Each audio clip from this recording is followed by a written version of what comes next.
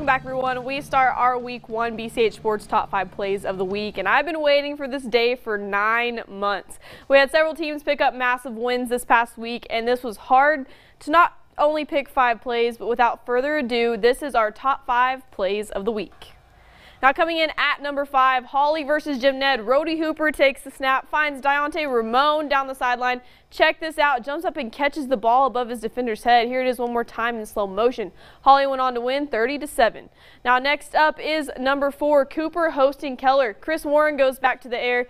DeAndre Ralston is wide open, 34 yards for a touchdown, but Keller held them after that and won 34 to 16. Now on to number three, Albany versus Trinity Christian. Battle of the Lions Albany is down 15 to 12. Last chance here. Cole Chapman handed it off to Adam Hill. He scored that and be the game winner with 145 to go in the game.